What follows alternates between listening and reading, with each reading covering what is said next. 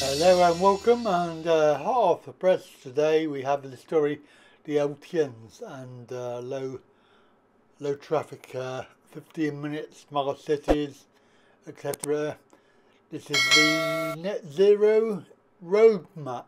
They want you to uh, believe is good for you. Of course we already know about they want zero private vehicles this is obvious this is why they're doing it. This is the whole ethos behind uh, net zero and climate change. But you may also be aware of the whole thing that, that about meat. Net zero thing is that they want zero kilos of meat per year so you will not be eating meat or dairy products.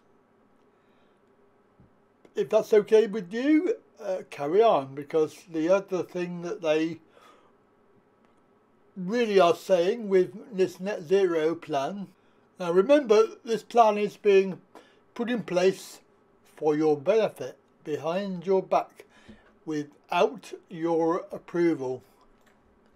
So this is what they want for the future.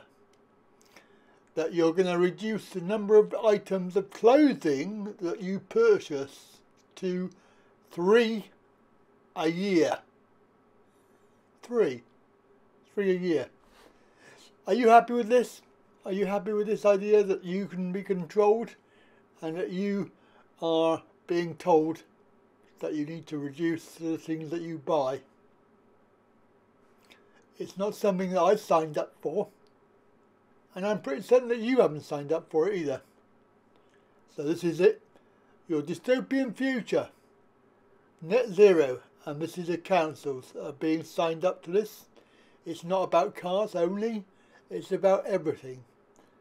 And it's okay saying that you have a hundred trips a year.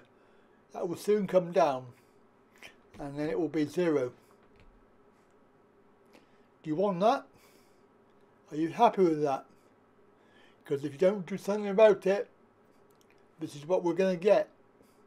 And the people that don't want it are going to be suffering the same as the people that do. Even though there is probably nobody really wants this. Certainly everybody I've spoken to uh, and they realise what's going on, they turn around and say, well, I don't want that it has a, it can have a it can have a happy ending if you really make it. So you need to stand up, say no, don't comply, and fight the battle. That's it from me. Have a good day.